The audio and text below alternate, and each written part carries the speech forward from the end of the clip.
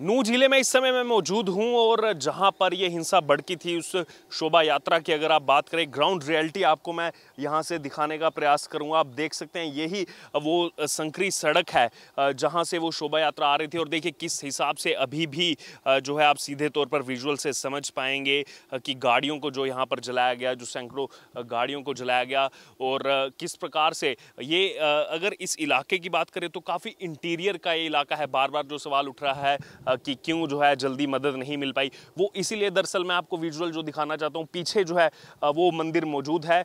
यहाँ पर पीछे मंदिर मौजूद है, उसके पीछे पहाड़ी है।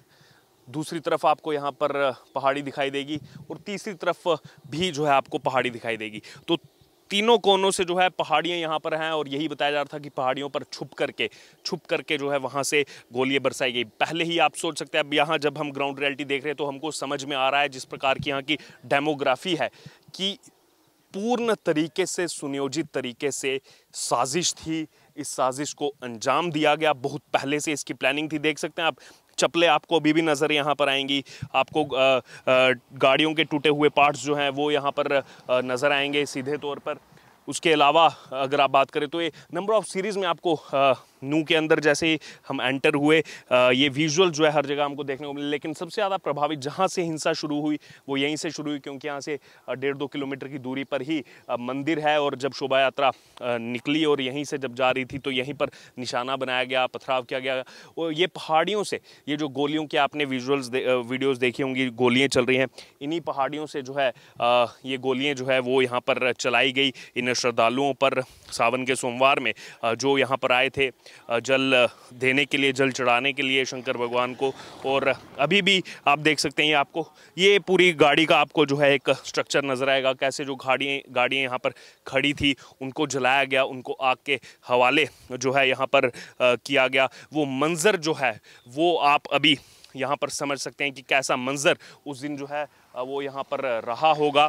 और आगे भी आपकी जहाँ तक नज़र जाएगी, जहाँ जहाँ आपको ब्लैक स्पॉट्स जो है वो नज़र आएँगे, वहाँ आपको ये देखने को मिलेगा कि इन गाड़ियों को जो है जलाया गया। आप देख सकते हैं यहाँ पर ये टूटे हुए शीशे पड़े हुए हैं। बाकी चीज़ें जो है वो यहाँ पर पड़ी हुई है। पीछे पेड़ भी काफ़ी हद तक जो है, वो जल गया है। जब जलाया गया गाड़ियों को, क्योंकि इतनी लपटें जो है वो यहाँ से उठ रही थी। आप देख सकते हैं अभी सीधे तौर पर विजुअल्स में जो है आपको ये नज़र आएगा। क्योंकि ये देखिए, काफ़ी संकरा इलाका और काफ़ी जो है ये अलग सा इलाका पड़ जाता है।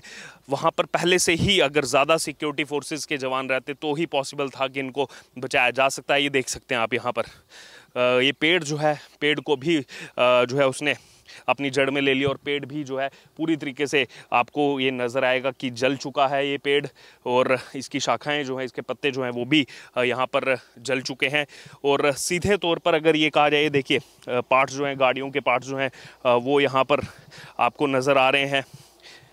ये कुशन बैग जो हैं, वो भी आपको यहाँ पर नज़र आ रहे हैं। और आगे, जहाँ जहाँ आपकी नज़र जाएगी आपको, क्योंकि ये आप यहाँ से वाइड एंगल से जो है समझने का प्रयास कर सकते हैं कि रास्ता जो है मंदिर की तरफ़ जा रहा है और दूर दूर तक यहाँ कुछ नहीं है, कुछ घर हैं और इन पहाड़ियों से क्यों निशाना बनाया गया और जब तक यहाँ कोई पहुँच पाता तब तक इस घटना को अंजाम दे दिया गया था सीधे तौर पर।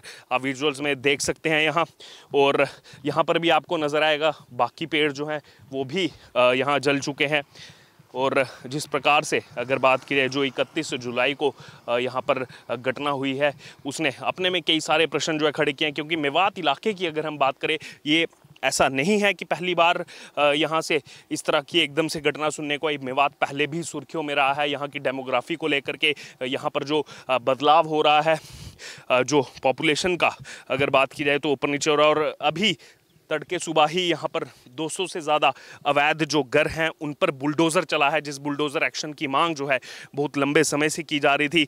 वो अवैध जो रोहिंग्या यहाँ पर रह रहे थे। सबसे पहला प्रश्न ये उठता है, आखिरकार किसने उन रोहिंग्याज को यहाँ पर बसने दिया? और क्योंकि उन्हीं रोहिंग्याज में से बहुत से लोग जो हैं, वो इस साजिश में शामिल थे उन्नीस से पच्चीस साल के बच्चे। ये देखिए, आपको ये पटके जो है यहाँ पर नज़र आएँगे। ये वो पटके विश्व हिंदू परिषद की रैली में जो लोग शामिल हुए थे, जिनको निशाना बनाया गया, वो पटके जो है यहाँ पर अभी भी जो है पेड़ों के साइड पर जो है टंगे हुए आपको नज़र आएँगे और यहाँ पर हर जगह जो है वो शीशा बिखरा हुआ है। जो गाड़ियाँ यहाँ पर टूटी, उसका शीशा जो है, वो यहाँ पर बिखरा हुआ है और यहाँ से अब कुछ ही दूरी पर जो है वो मंदिर का स्थान है। यहाँ भी एक गाड़ी थी, ये गाड़ी भी देख सकते हैं आप, यहाँ पर गाड़ी वो भी जलाई गई, यहाँ पर भी गाड़ी जलाई गई और उसका शीशा जो है वो टूटा हुआ यहाँ पर आपको नज़र आ रहा है। तो आप समझ सकते हैं कि केवल सोशल मीडिया पर आकर के बातें करना आसान है, लेकिन जो लोग यहाँ पर फंसे हुए थे, आज कहीं ना कहीं जब लोगों से हम बात कर रहे हैं तो उन्हीं लोगों को उल्टा निशाना बनाया जा रहा है। जिन लोगों ने सहा, जो बच्चे, महिलाएँ यहाँ पर थी, जिन पर यह पथराव किया गया, जो ये आगजनी हुई, ये आगजनी किन गाड़ियों पर हुई? जो गाड़ियाँ दूर दूर से आई थी, फरीदाबाद से आई थी, पानीपत से आई थी, पलवल से आई थी, यहाँ पर मंदिर में। दर्शन करने के लिए श्रद्धालु इन गाड़ियों में आए थे। इन गाड़ियों को निशाना बनाया गया। उन छोटे छोटे बच्चों को एक एक डेढ़ डेढ़ साल के बच्चों को निशाना बनाया गया। लेकिन आज की विडंबना देखिए, उन सो कॉल डिज़ाइनर पत्रकारों को देखिए, जो अभी भी इन्हीं लोगों को उल्टा निशाना बनाने के लिए लगे हुए यानी कि एक तो इन पर पथराव हुआ, आगजनी हुई, इन पर हमला हुआ, हिंसा भड़की और उसके बावजूद सवाल भी आज इन्हीं को कटघरे में जो है खड़ा कर दिया जा रहा है इन डिज़ाइनर पत्रकारों की वजह से। जो अपनी जान पर खेल रहे थे। छह लोग जो उसमें मर गए। पुलिस होमगार्ड के यहाँ पर अगर बात किए तो होमगार्ड के सिपाही को जो है अपनी यहाँ पर जान गंवानी पड़ी। कौन इसकी जवाबदेही देगा? लेकिन नहीं, अभी भी ये सो कॉल्ड जो लोग बैठे हुए हैं हमारे देश के अंदर, वो उनको बचाने में लगे हुए हैं, जिन्होंने हिंसा की। उल्टा उनको बोल रहे हैं कि एक वीडियो वायरल हो गया था, वीडियो में कहा गया था कि कुछ लोग इस रैली में शामिल होने आ रहे हैं, इसलिए ये हिंसा हुई।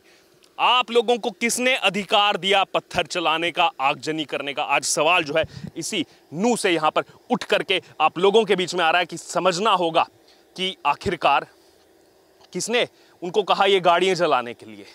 कौन था इसके पीछे? किसके कहने पर यह साजिश हुई? ये बड़ा सवाल जो आज उठ रहा है, क्योंकि अब इनपुट्स ये भी आ रहे हैं कि इक्कीस से तेईस जुलाई के बीच में इसकी पूरी प्लानिंग हुई। बहुत सारे ग्रुप्स बने थे सोशल मीडिया पर पहले से जो है चीज़ चल रही थी, और अब उसी को देखते हुए जो है हर एक चीज़ को खंगाला जा रहा है यहाँ पर, और एक एक आरोपी को यहाँ पर नहीं बख्शना चाहिए, नहीं तो इसी प्रकार से इनके हौसले ऐसे बुलंद रहेंगे, और आगे भी ऐसा ही कुछ जो है वो मंजर देखने को मिल सकता है। सख्त से सख्त एक्शन लेने की ज़रूरत है, बुलडोज़र कार्रवाई आज हुई है, देर आए, दुरुस्त आए, लेकिन जब तक इनमें खौफ नहीं बैठेगा, तब तक ये ऐसे ही करते रहेंगे। और खास तौर पर ये रोहिंग्यास, बाहर से आकर के बसे हुए हैं, बहुत सारे लोग वही रोहिंग्यास इसमें शामिल है।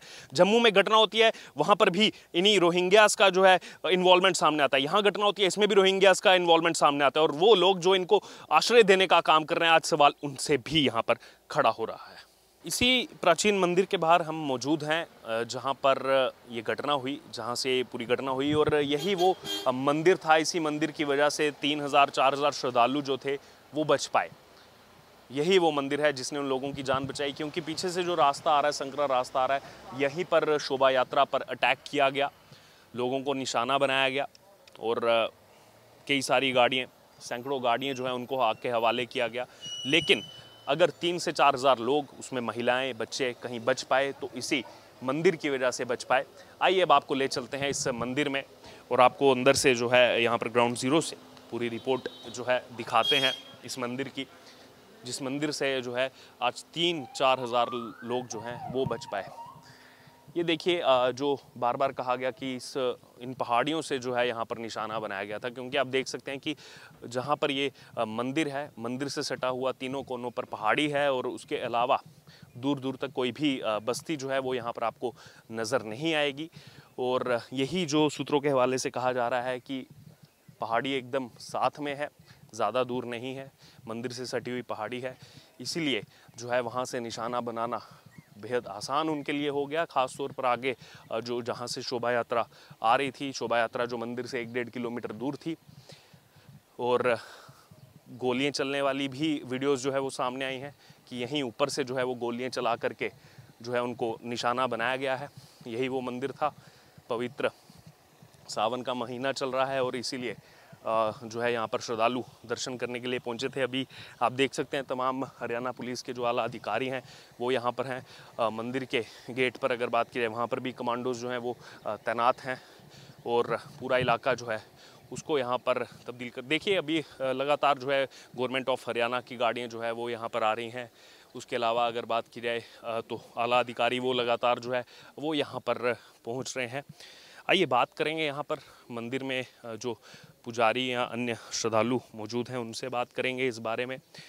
और किस प्रकार से अगर बात की जाए तो जो कहा जाता है कि हमारा धार्मिक स्थल है, मंदिर जो है, वो वहाँ पर लोगों की मन्नतें पूरी होती हैं। लेकिन अगर बात की जाए उस दिन की, इकतीस जुलाई की तो इस मंदिर की वजह से ही तीन से चार हज़ार लोगों की जान जो है बच पाई है। सीधे तौर पर आप देख सकते हैं, काफ़ी घने पेड़ जो हैं, घना जंगल जो है, वो आपको इन पहाड़ियों पर नज़र आ रहा है। अब इनके पीछे से छिप करके कोई गोली चला रहा है और कोई पत्थर वहाँ से फेंक रहा है तो कैसे जो है पता लग पाएगा?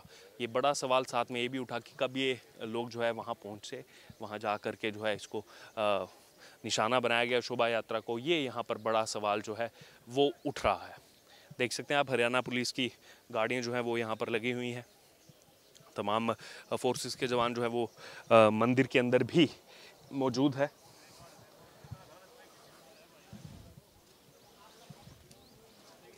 चलते हैं आ, मंदिर के अंदर और देखते हैं यहाँ पर कौन लोग मौजूद हैं।